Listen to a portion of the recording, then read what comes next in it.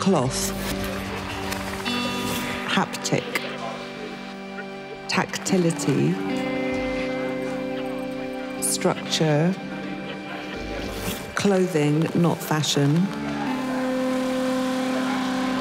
grunge, elegance, fabric, desirable, comfort, shapes, balance, textural, accessibility, purpose, silhouette.